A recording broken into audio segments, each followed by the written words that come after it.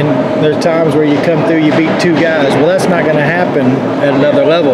Yeah. You might beat the first one. I've seen a lot of that. You know, once you get up to down, it's not so much about talent.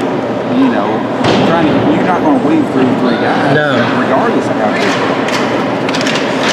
No, because you, you're not going to have the time, you're not going to have the space. That's the thing. The ice gets so, you get a bunch of big guys, And the goalies, some of those Bantam goalies are monsters.